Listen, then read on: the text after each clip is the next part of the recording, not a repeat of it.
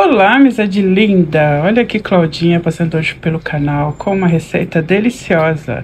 Vou fazer bolinhos de brevidade. Aqui numa tigela adicionei três ovos inteiros, coloquei uma xícara de 250 ml de amido de milho e vou colocar também, ó, meia, você viu que não tava cheia, né? De meia xícara de açúcar.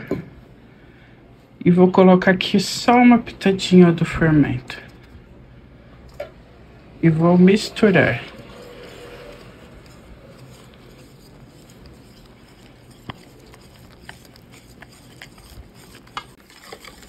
Ó, bem misturadinho, ó.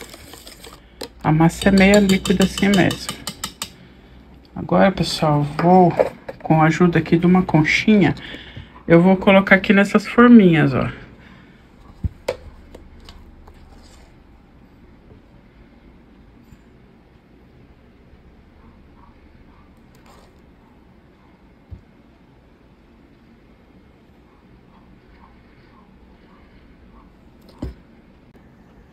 Ó, pessoal, já soa.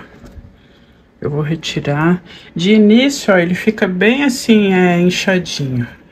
Aí ele vai esfriando, ele vai dando uma, uma murchadinha aqui, ó. E aí, já preparou o cafezinho? Vamos lá provar? Hum? Hum? Hum. Ó, quem quiser pode adicionar uma, uma, uma pitadinha aí de essência de baunilha, tá? Mas eu preferi assim mais neutro. Com café fica show!